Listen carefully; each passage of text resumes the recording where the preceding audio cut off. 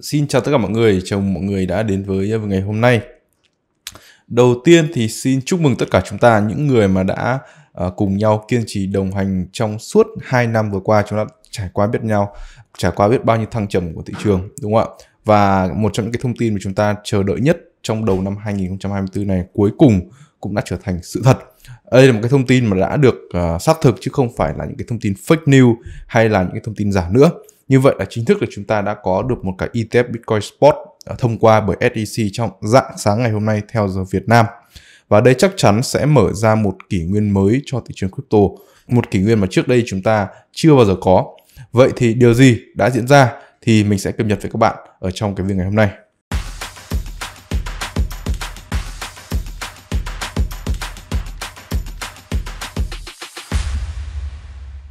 Ok, chúng ta sẽ cùng đến với cả nội dung chính của ngày hôm nay. Thì trong dạng sáng ngày hôm nay là ngày 11 tháng 1, thì trên trang chủ của SDC đã có một cái bài đăng tuyên bố của chủ tịch SDC là Gensler về việc là chính thức đã có một cái ETF Bitcoin Spot được thông qua. Và cái sự chấp thuận này thì dự kiến sẽ kích hoạt việc chuyển đổi Grayscale Bitcoin Trust hiện đang nắm giữ số Bitcoin trị giá khoảng 29 tỷ đô thành một quỹ ETF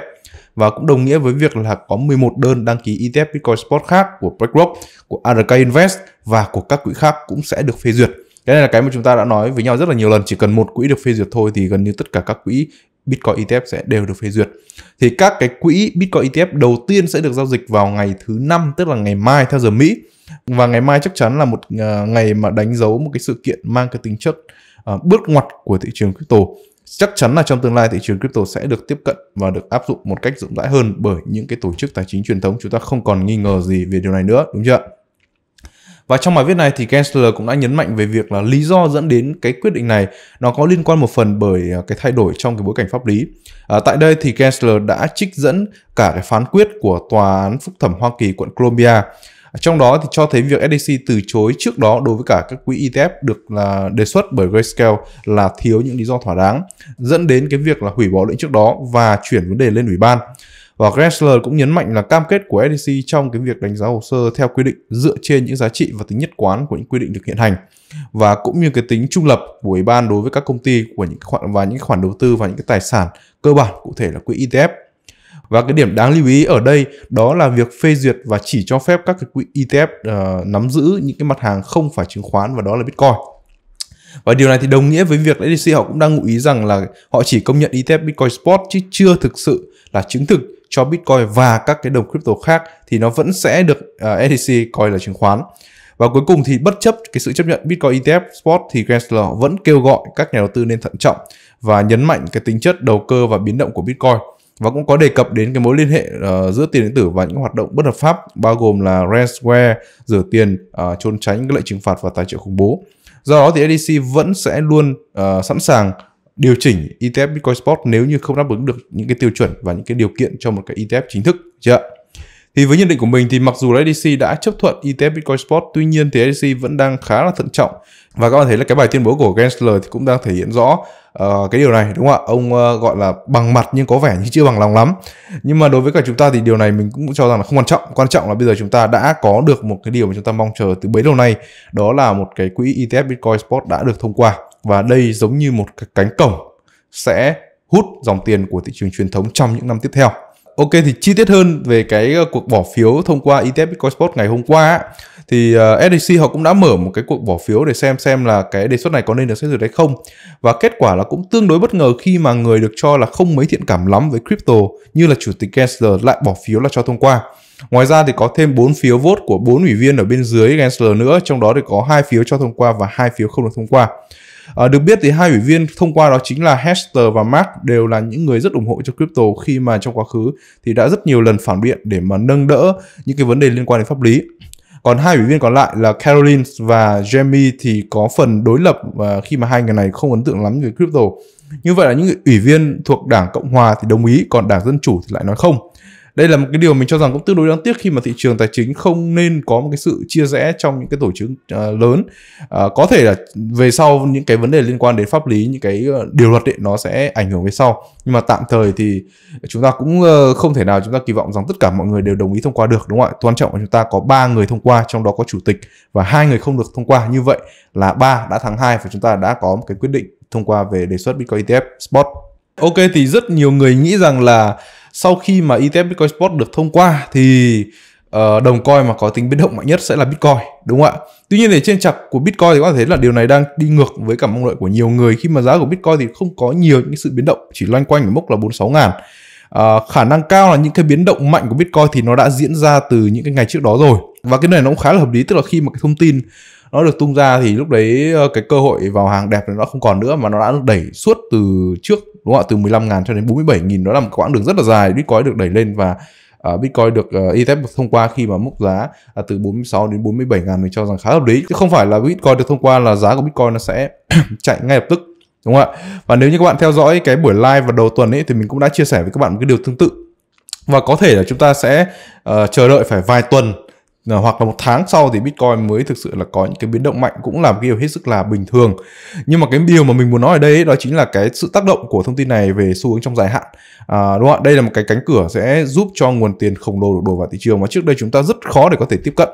Và các bạn hãy tưởng tượng là chỉ một phần nhỏ dòng tiền của thị trường tài chính truyền thống thôi được đổ vào thị trường crypto ấy thì nó sẽ bullish như thế nào? Điều này mình không cần phải nhắc đi nhắc lại nhiều lần nữa. Chúng ta xem lại cái trường hợp đối với cả vàng sau khi mà ETF được thông qua thì vốn hóa của vàng nó đã khủng khiếp như thế nào. Thì bây giờ chúng ta uh, đã có cái uh, loại tài sản thứ hai đó là vàng kỹ thuật số đó chính là Bitcoin. Thì những cái tháng, những cái năm tháng sắp tới mình cho rằng sẽ là những cái năm tháng lịch sử đối với cả thị trường và các bạn và mình rất may mắn khi mà chúng ta đang được chứng kiến một trong những cái bước ngoặt của thị trường đã có chiều dài hình thành và phát triển suốt hơn 12 năm và cuối cùng thì nó cũng đã có được một cái bước ngoặt lớn đánh dấu sự trưởng thành của toàn bộ thị trường và sẵn sàng sát cánh cùng những cái thị trường tài chính truyền thống khác. Ok, mặc dù giá của Bitcoin không có nhiều biến động, tuy nhiên thì uh, giá của một đồng coin nổi tiếng không kém. Và đồng coin này thì, uh, mình cũng mua rất là nhiều và trong thời gian gần đây thì nó đi như là stablecoin là chính là Ethereum. Trong ngày hôm nay thì lại chiếm spotlight. Khi mà chỉ trong có 2 24 giờ thì Ethereum đã tăng khoảng 12% từ mức 2003 đến mức là 2006 và theo như chỉ báo Fibonacci thì ETH hiện tại đang đã phá qua được cái vùng Fibo 0.382 và khả năng cao sẽ tiếp cận được đến những cái vùng Fibo 0.5 ở khoảng giá từ 2008 cho đến 2009 mình cho rằng là những cái vùng mà ETH hoàn toàn có thể hướng đến trong thời gian sắp tới. Đến đây chắc chắn là nhiều bạn đặt câu hỏi là tại sao ETF Bitcoin được thông qua mà ETH lại tăng mạnh đúng không ạ? Thì với nhận định của mình đầu tiên ấy, đó là theo hướng chủ quan ấy, thì trước khi mà ETF Bitcoin Spot được thông qua thì cộng đồng cũng rất kỳ vọng và liên tục FOMO và giá của Bitcoin thì nó cũng đã tăng tương đối mạnh rồi và khi mà tin ETF Bitcoin Spot được thông qua chính thức ý, thì lúc này đã đạt được cái kỳ vọng của cộng đồng và khiến cho cái động lực tăng giá trong ngắn hạn có thể là nó không còn được FOMO mạnh nữa và có thể là market maker không tiếp tục đẩy giá thì nó không tăng nữa thôi. Còn đối với cả ETH thì đây là đồng uh, altcoin duy nhất đang có đơn đăng ký ETF ETH Spot được chờ. Và SDC sẽ uh, đưa ra kết luận vào tháng 5 sắp tới. Như vậy là sau khi Bitcoin ETF Spot được thông qua thì chúng ta sẽ tiếp tục chờ đón cái ETF ETH sẽ có được thông qua hay không vào tháng 5 sắp tới. Và điều này thì khiến cho cộng đồng đang FOMO sang ETH nhiều hơn bởi vì sao? Bởi vì ETH tính từ đầu mùa đến giờ thì nó chưa tăng trưởng nhiều như là là Bitcoin đúng không ạ? Nó tăng trưởng khá là ít so với cả cái độ tăng giá của Bitcoin thế nên là bây giờ cộng đồng chuyển sang ETH mình cho rằng là cũng uh, tương đối hợp lý thôi và mình cho rằng ETH cũng đã vẫn là một cái đồng coin mà rất đáng để chúng ta quan tâm. Bản thân mình thì mình nghĩ rằng là sớm sẽ có một cái ETF của Ethereum sẽ là một cái altcoin đầu tiên có ETF nhưng mà trước mắt chúng ta hãy tận hưởng cái, việc ờ, xét duyệt Bitcoin ETF đã, đúng không ạ? Tuy nhiên thì đối với cả việc đầu tư ETH thì mình cho rằng nó vẫn đang là một trong những dự án tiềm năng trong dài hạn mà hoàn toàn chúng ta có thể cân nhắc đầu tư. Đó là về cái hướng chủ quan vậy còn theo hướng khách quan thì như thế nào? Vậy thì với cả nguyên nhân khách quan ấy, thì điều này ai cũng có thể nhận ra trên chart của Bitcoin DOM các bạn thấy là trong ngày hôm qua thì thị phần Bitcoin DOM đã giảm tới 4%, đúng không ạ? Điều này thì cho thấy rằng là dòng tiền đang có xu hướng là chuyển dịch dần sang các altcoin và khiến cho giá của Bitcoin mặc dù là đón nhận thông tin tích cực nhưng cũng không có nhiều những cái chuyển biến. Và kết quả là khiến cho giá của Ethereum đã tăng mạnh và kéo theo hàng loạt những altcoin thuộc hệ sinh thái có liên quan như là ARB hay là Lido cũng tăng trưởng theo. Mình đã nói với các bạn là các bạn hoàn toàn có thể uh, đầu tư Ethereum và những cái đồng coin, những cái đồng token, những cái hệ sinh thái mà phụ thuộc vào Ethereum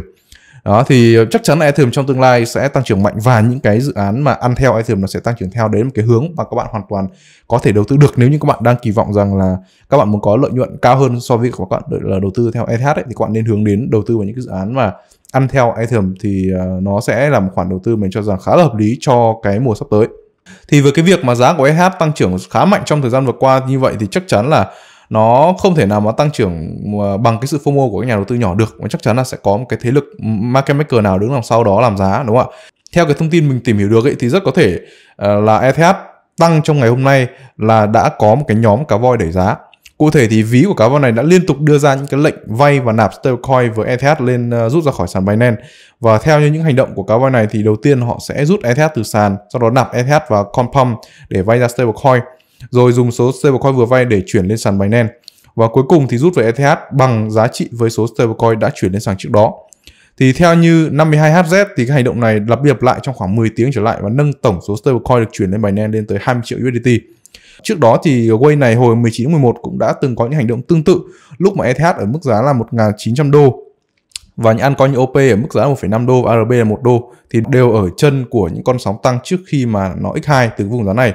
Do đó thì theo như nhận định của mình thì với cái việc là ví cá voi này đang có xu hướng hoạt động mạnh trở lại sau 2 tháng nằm im ờ, và có hành động giống như những lần trước thì khả năng cao, các cá voi này đang kỳ vọng rằng là cho một cái sự tăng giá của ETH và những cái mảng như là USDFi hay là Layer 2 cũng hoàn toàn có thể được hưởng lợi, đúng không ạ? Thế nên là trong mùa tăng trưởng sắp tới, các bạn nên chú ý đến những cái mảng này USDFi và Layer 2 Ok, trước khi khép lại việc ngày hôm nay thì cũng có khá nhiều bạn hỏi mình liên quan đến cái view ngắn hạn để các bạn có thể trade scalp thì mình sẽ cập nhật các bạn ở cái phần cuối cùng của video. Cụ thể thì trong dạng sáng ngày hôm nay là ngày 11 tháng 1 thì mình đã có cập nhật cái plan giao dịch Bitcoin của mình ở trên nhóm Telegram miễn phí của anh View Capital. Thì với cái việc là thông tin ETF Bitcoin Spot được tung ra thì giá của Bitcoin không có quá nhiều biến động và khiến cho những cái nhà giao dịch future cảm thấy khá là khó đoán. Do đó thì cái chiến lược giao dịch của mình trong ngày hôm nay đó là tập trung vào canh long limit cái vùng canh lon đầu tiên sẽ khoảng là 44.900 à, stop loss ở 44.300 và vùng canh lon tiếp theo sẽ ở mức là 43.400 và stop loss ở khoảng 42.900 còn đối với cả vùng canh short ấy, thì mình sẽ ưu tiên đánh lướt uh, khoảng 46.800 và ờ, stop loss ở khoảng 47.300